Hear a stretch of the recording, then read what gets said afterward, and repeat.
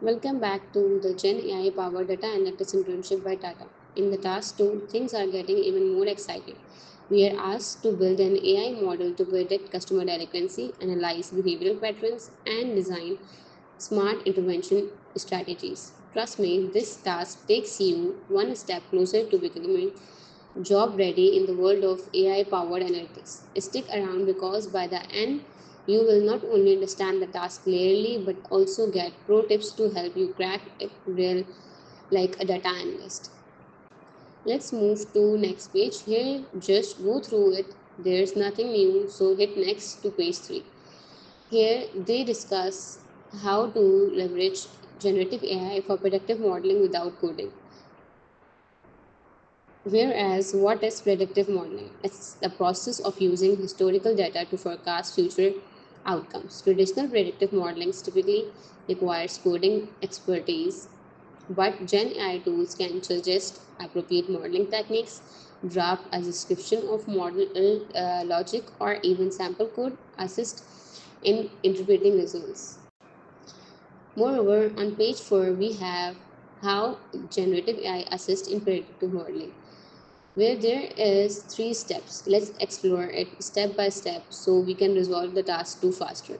First, in selecting the right model type, Gen AI can analyze dataset characteristics and recommend the most suitable techniques that are decision uh, tree. That's for explaining why a predictive prediction was made.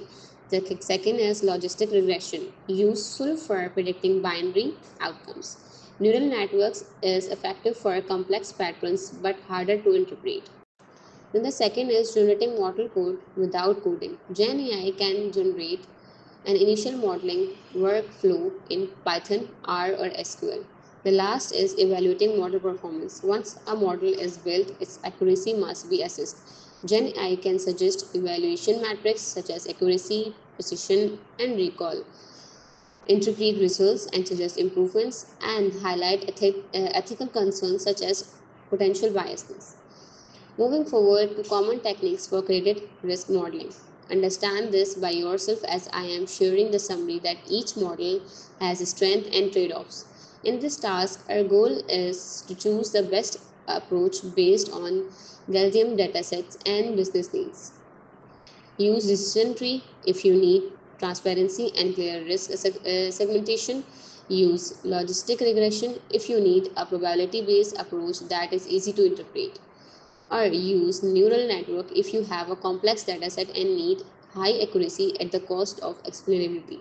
Then hit next and read out the page 6 by your own as this section will guide you through evaluating model accuracy and reliability while considering bias, explainability and fairness essentials for making responsible AI driven decisions in financial services. Do not forget to understand the key metrics for model evaluation as they are the part of task 2. On page 7, we have bias, explainability, and fairness in credit risk modeling. AI driven credit risk model can be powerful but only if they are used reasonably. Here we will explore three key principles bias, explainability, and fairness. Bias happens when a model unfairly favors or disadvantages certain group, often due to historical or data-related issues like selection or proxy bias. While Gen AI can help detect patterns, always validate results with fairness metrics and human oversight then we must understand why the model made a decision especially in finance. Tool like SHAP help breaks down complex predictions. Do not rely solely on Gen AI summarizes. They may reflect the actual model logic. A fair model ensures equal treatment across all groups.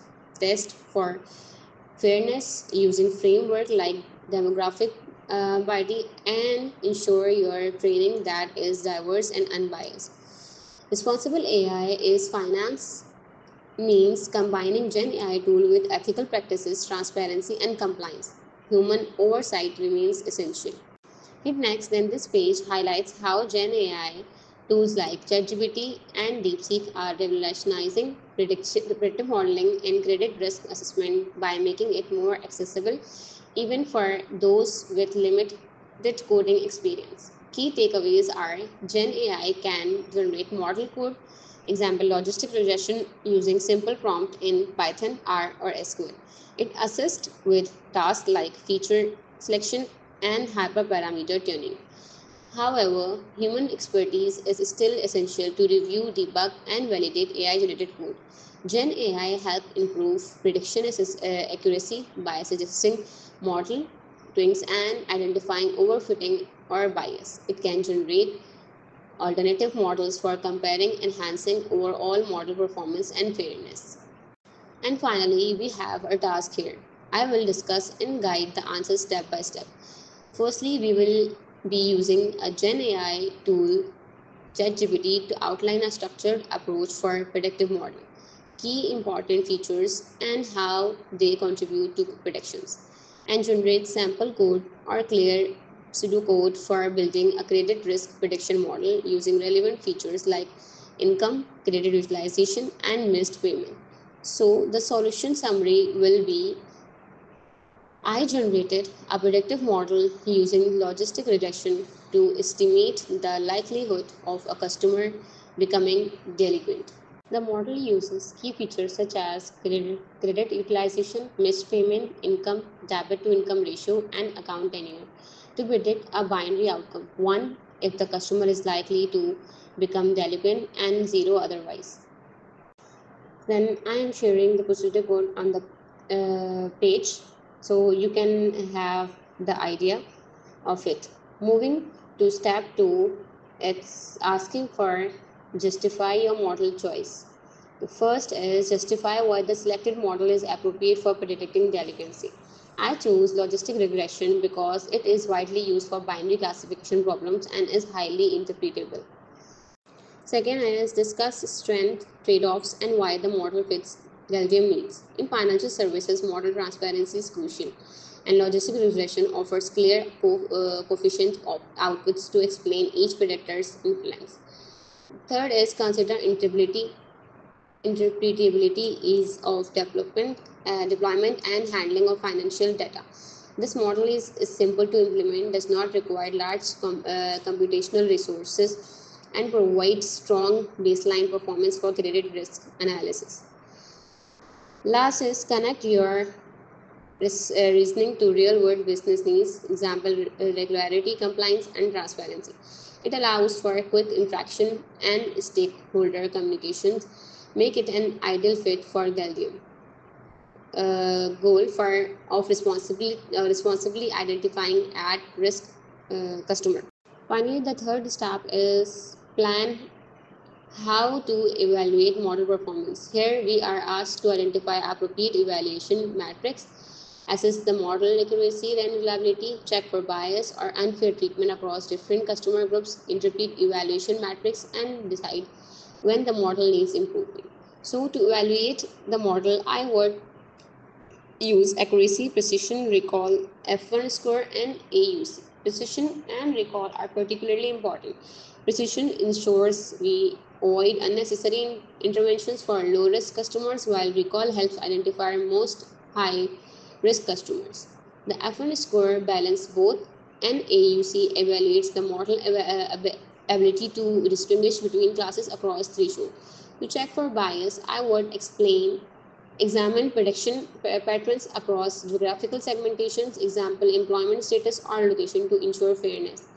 And strong disparities would prompt model uh, reassessments or rebalancing. Ethical consideration include avoiding proxy bias, maintaining transparency, and clearly communicating how model outcomes influence decisions. Combine all the answers as per the template in three paragraphs and upload its Word or PDF file. And that's wrap up task 2 of the Gen AI powered data analytics introduction. In the next task, we will move deeper into the presentation building, business storytelling, and translating model outcomes into actionable strategies for stakeholders. Do not forget to like, subscribe, and hit the bell icon so you do not miss out on the upcoming task. Drop your question in the comment if you are stuck anywhere. I am here to help. Thank you for watching and see you in the task 3.